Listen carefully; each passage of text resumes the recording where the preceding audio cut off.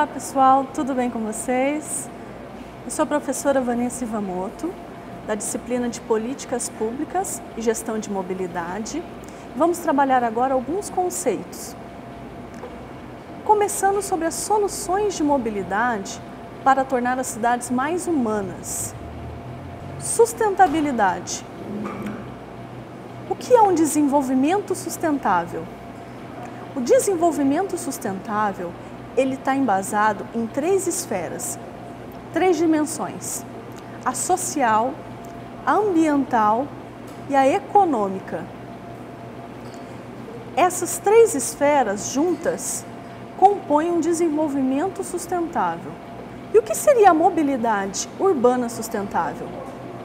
Ela se refere à promoção do equilíbrio entre a satisfação das necessidades humanas, mas sem abrir mão da proteção do ambiente natural.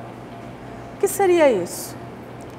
Nós temos que trabalhar a mobilidade, toda essa gestão, porém pensando nas gerações futuras, levando em consideração os recursos naturais escassos e todos os problemas que podem ser gerados em relação à poluição.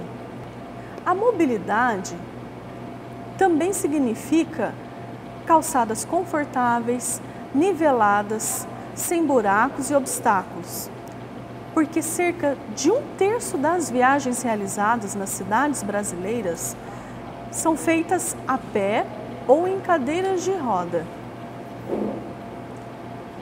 Então, a mobilidade não é somente os veículos trafegando nas vias, a mobilidade ela envolve muitas, muitas outras questões, como os pedestres, como os cadeirantes, são todas as pessoas que moram nas cidades que fazem parte da mobilidade.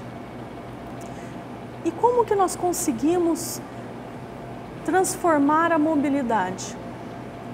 Somente com a requalificação dos transportes públicos, poderemos permitir que as ruas deixem de ser vias exclusivas dos automóveis e voltem a ser locais de convivência. Nós precisamos que as cidades tenham um sistema de transporte público mais estruturados, para que as pessoas possam fazer os seus deslocamentos usando do transporte público e não do seu, do seu veículo individual. Assim nós conseguiremos deixar as ruas mais vazias para que as pessoas possam circular por elas. Vocês veem o exemplo dos BRTs em Curitiba? É um exemplo inovador em todo o mundo. O sistema das canaletas de ônibus tendo os terminais de integração. Agora, recentemente, foi implantado o VLT no Rio de Janeiro. Também um sistema de mobilidade de transporte em massa com uma energia que não é poluente. Outro sistema que nós temos é o Skytrain Vancouver, no Canadá. Ele é um sistema de trem que funciona elevado. Então, todo o transporte é feito pela, pelas vias destinadas ao trem, as linhas férreas, deixando toda a parte de baixo livre para o convívio das pessoas, para que eles façam as suas caminhadas, para o trânsito das bicicletas. Diante das, das últimas tecnologias e dos últimos problemas que a mobilidade tem gerado, precisamos pensar novas formas de se deslocar nas cidades, que sejam menos poluentes, mais seguras e mais eficientes. Em São Paulo, nós temos um exemplo da ciclologística. São triciclos que trabalham fazendo as entregas a domicílio. Todo tipo de entrega tem sido feita pelos triciclos. Esse, essa imagem que é vista no slide é no bairro Bom Retiro, que mostra ali o entregador fazendo o seu percurso no triciclo. Outra forma de mobilidade eficiente são os carros e as bicicletas compartilhadas. A cidade de Fortaleza já implantou um sistema de veículos compartilhados, como vocês podem ver na imagem acima.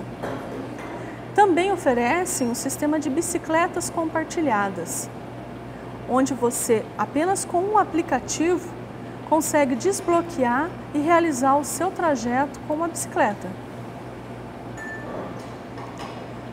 Também temos, dentro da, da série de veículos compartilhados, os patinetes. Estão sendo introduzidos no ambiente urbano agora mais recentemente. Funcionam da mesma maneira que as bicicletas. Por, por meio de um aplicativo no seu celular, você realiza o pagamento com um cartão de crédito e desbloqueia o equipamento. Nós já temos a cidade de Santos, de São Paulo e agora até em Curitiba com os patinetes elétricos. Na cidade de Curitiba também nós já tínhamos o compartilhamento das bicicletas. Então você pega o seu celular, desbloqueia, utiliza a bicicleta e quando você termina o seu percurso, você deixa no local onde as empresas avisam que você pode deixar que vai ser recolhido mais tarde. Então é muito prático, prático, econômico e sustentável. Hoje, por meio dos aplicativos, nós conseguimos também chamar um táxi ou outro tipo de transporte privado e até pedir comida são as soluções de mobilidade que nós podemos contar hoje muito mais práticas e tranquilas. Por que a preocupação hoje com a questão da mobilidade? Nós vivemos um, um momento onde os veículos são a prioridade em toda a área urbana. Porém, as cidades, elas foram feitas para as pessoas. Nós precisamos resgatar esses espaços. Aos poucos, os espaços públicos vão sendo devolvidos às pessoas. Em Seul, na Coreia do Sul, existia uma rodovia urbana que hoje foi transformada numa grande via de convivência, onde a população consegue compartilhar esse espaço. Em São Paulo, também houve um incentivo para que aumentassem os espaços de convivência nas vias urbanas. No Canadá, foram instalados balanços que, dependendo do movimento do balanço, ele emite, produz as notas musicais. Tudo isso, pessoal, na área urbana. Alguns países já vem transformando as ruas em espaços compartilhados, já há algum tempo. Em Paris, na França, Strasbourg, na França também, até em Buenos Aires. O conceito hoje utilizado são menos carros e mais pessoas. É transformar as ruas em lugares que possam ser compartilhados, tanto pelos veículos pelas bicicletas, pelas motocicletas e pelos pedestres, e não um espaço exclusivo para o, para o automóvel. Existe um projeto que tem sido replicado em algumas cidades brasileiras e que muito em breve deve chegar até Curitiba, que se chama Projeto de Rua Completa. Esse é um projeto que pretende, por meio de pintura por meio de vegetação, de vasos, que os veículos circulem de uma forma que automaticamente no seu no inconsciente do motorista ele reduz a velocidade. E dessa forma a rua fique mais livre para as pessoas do que para os carros. Que sejam mais espaços para que as pessoas possam aproveitar do que só os veículos passando por ali.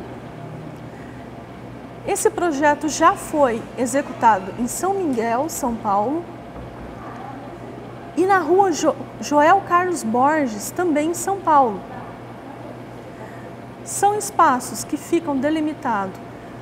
Área para os pedestres poderem transitar tranquilamente, espaços para você sentar, bater um papo no final da tarde, na hora do almoço, espaço para as, as crianças brincarem e as pessoas poderem se conhecer. Então, pessoal, a importância hoje de se estudar a mobilidade é pensar a mobilidade como um planejamento de ações e não apenas e não apenas uma, um remédio para o problema. Pensar a mobilidade é pensar a cidade para as futuras gerações.